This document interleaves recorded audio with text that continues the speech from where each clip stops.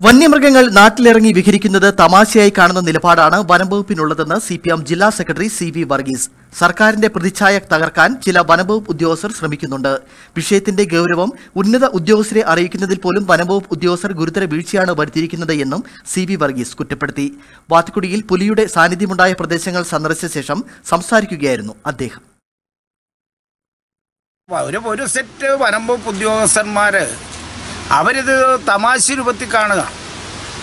എന്ന് പറഞ്ഞാൽ അതെന്ന് പറഞ്ഞാൽ ഗവൺമെന്റിനെ അപകീർത്തിപ്പെടുത്തുക എന്ന ഒരു കച്ചകെട്ടി ഇറങ്ങിയിട്ടുണ്ടെന്നേ നമുക്കിപ്പോൾ കാണാൻ പറ്റുള്ളൂ. കാരണം മന്ത്രിയുടെ സാന്നിധ്യത്തെ സംബന്ധിച്ച് കൃത്യമായി പ്രയോറിറ്റി തയ്യാറാക്കി ലിസ്റ്റ് തീരുമാനിച്ചിട്ടുണ്ട്.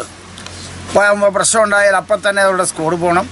ഞാൻ പറഞ്ഞില്ലേ ഇന്നലെ ബഹുമാന്യനായ ജില്ല ഇതിന് ചുമതലയുള്ള ജില്ലയിലെ ഓഫീസറായി ചുമതലപ്പെടുത്തിയ അരുൺകുമാറിനോട് ഞാൻ വിളിച്ച് സംസാരിക്കുമ്പോഴാണ് അദ്ദേഹത്തിന് ശ്രദ്ധപ്പെടുന്നത് ഞാനിപ്പം വരുമ്പോൾ അറിയല്ല അങ്ങനെ നിലപാടെടുക്കാൻ പാടുണ്ടോ? പുലി പട്ടിയായാലും പൂച്ച